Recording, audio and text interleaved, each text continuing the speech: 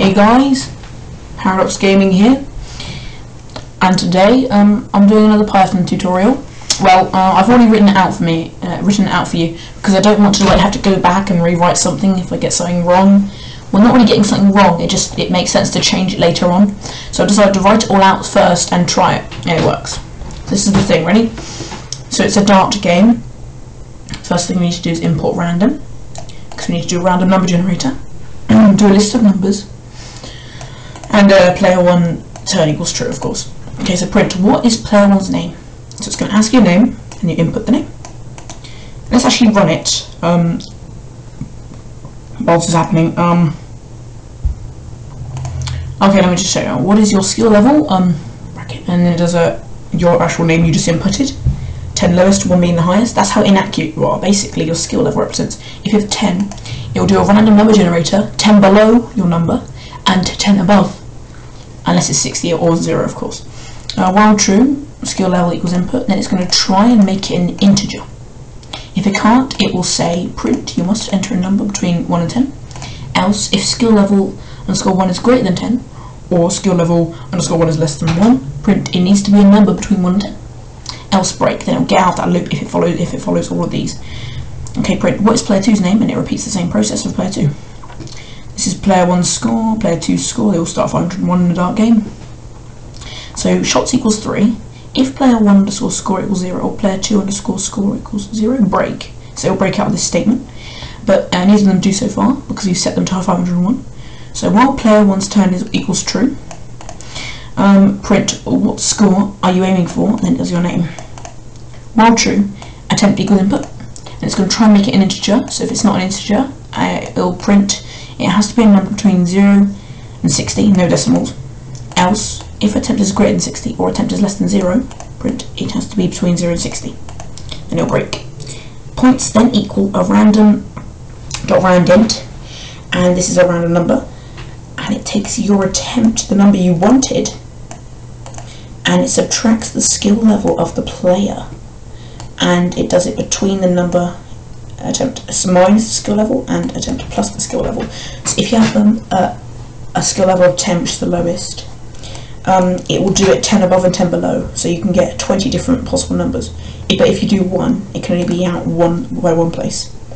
So if you put in a number, if points are greater than 60 afterwards, say if you put in 60 and you get 70, it will just set it to 60. And if points less than 0, it'll go to 0. You scored uh, plus STR points. Uh, yeah, this is a simple way of doing it and then it will subtract the points from your score. If score is less than zero, the player's score must add points. If player one equals zero, it will break, and it'll go up here, and it'll realise, oh, score does equal zero, so it'll break again, and it'll go down, and it'll print if player one equals zero, print player one, you win. Else print player two, you win. Okay, so done then. And then while player one turn equals false, it's going to print the exact same thing with player two in, attempt, except else if it does work, and it will break out that while true it'll points. So now let's run it. Ready? Okay. So this is this is it as we play it. Ready? Okay. So what is player one's name? Right there. So we'll just put in Toby. What is your skill level, Toby? 10 the lowest, 1 the highest. Okay, I'm going to do 1. Okay, what's player two names? Uh, let's do Torchlight Fire.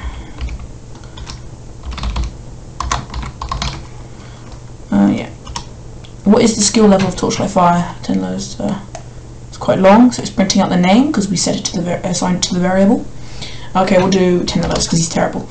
What score are you aiming for, Toby? Um, 60. And it does, okay, I scored 6 points, 60. Oh, I scored 59. Since I've only got, uh, my skill level was 1, when it gets to this point, it's only subtracting 1, so my minimum could be 59, maximum is 61, but if it is 61, it'll just set it to 60. So 2 out of 3 times, I should get 60. Oh, it was the other way that time. You have 323 points remaining. Um, okay, now we're doing Torchlight Fire's turn.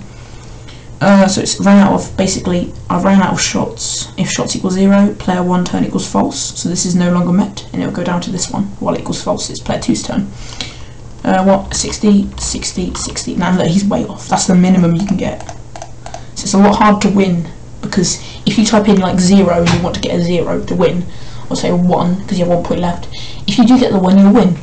But you might be, you might get a zero, you might get a ten, you might get what you don't know. It's very hard to win with a skill level of ten. Um, what are you aiming for, Toby? Mm, 60, 60, 60. Oh, I got 60 or three times there. Nice.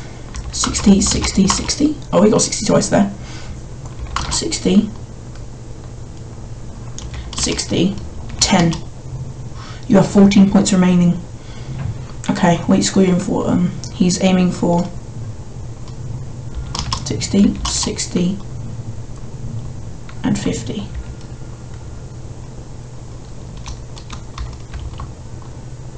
Ah, you have 7 points remaining. Okay, I'm going to go, since I only have 11 points, let's try 3, and then 6. Also, I've done 9, 2. Oh. I know I have 11. Oh, I've only done 10, so... Wait, what? Oh no, I scored 11. I have 14 points remaining. Sorry about that. Okay, so the next part, I have 4 points remaining. I need to get 2 or 1 or 1. Oh, I'm scared. Um, He's got to get... Hmm. Let's see if we can win this. I don't care. So let's just try this out. Ready? So... I'll come back with an improved form and I might leave a link to a Dropbox if I can get my Dropbox working anyway. I've never used it before. So if if he has seven points remaining, let's try two. Let's try two again. Let's try two. Well, does that work? Because if he scored nine, he would have gone to seven. If he scored ten, he would have subtracted ten minus three, and he would add ten. So I guess it would have been seven. That's correct.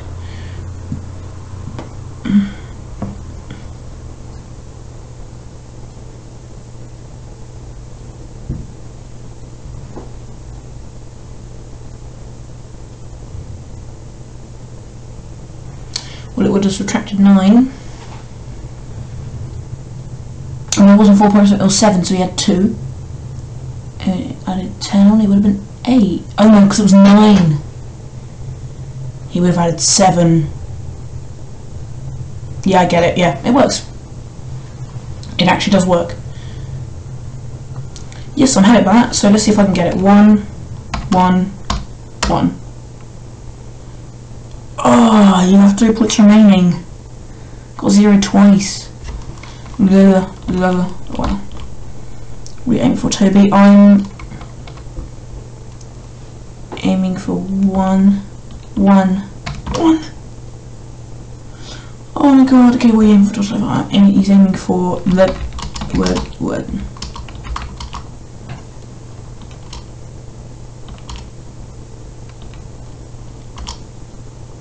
Toby, you win. We did it. We did it, guys. We did it. Oh, I'm so happy that worked.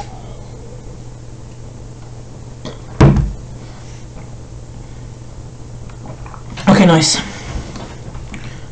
Okay, now I'll be back in a few minutes with an improved form of the game. So actually, you pick the number on the dartboard, and you can get a double and a triple with your left. Okay, I'm back with the edited one. This one is the realistic one. So it does all the same here. And it says, okay, so you have to pick a number between 0 and, 0 and 20 this time. That makes sense, of course. So really, uh, it does all the same, you know, what you're aiming for, 0 to 20. If it's not in numbers, it has to be between 0 and 20. And then you, single, double or triple, you pick that. Basically, you need to pick a type if it's not in choice, because choice is the list of the types. If it's not, it will ask you to do it again. If type is single, chance, this is where it does the randomness equals random random.randint 1 to 10. And if chance does equal 10, it prints you wobbled a bit, points equals random.choice numbers. So basically, just pick a random number for you. It might be the same again, it might still be 10. Else points equals attempt, so it still equals what you wanted. And if type equals double, chance equals random random.randint 1 to 10. If chance greater than 6, so basically 7, 8, 9 or 10, you have a 2 and 5th chance of wobbling, and if you do, your points will still be times two. It's basically like moving your angle. It's still it's like a circle. it's like you're making a circle basically because it's still the same distance around the disc.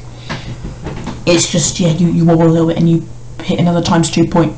So it'll do a random number, and if you're lucky, it might do the same one again. But that's like one. What is that?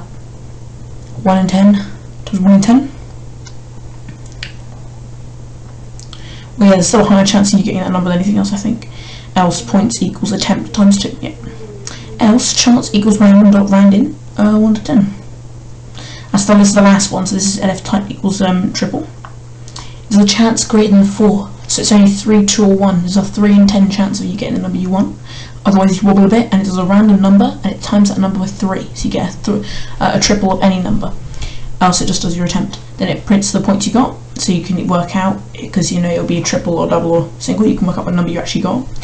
And if it's less than 0, add it on, does all the same here. If shots equal 0, uh, blah, blah, blah, false, um, and eventually you can win. It does all the same, still works like the other code, I've just changed some bits. That's the proper one. There might be a link to my Dropbox in the description if I can get it working, so you can just download this straight away. But I'm not sure if that'll work, so um, yeah, uh, you'll find out. Uh, thank you so much for watching. I'll see you in the next episode. Bye bye.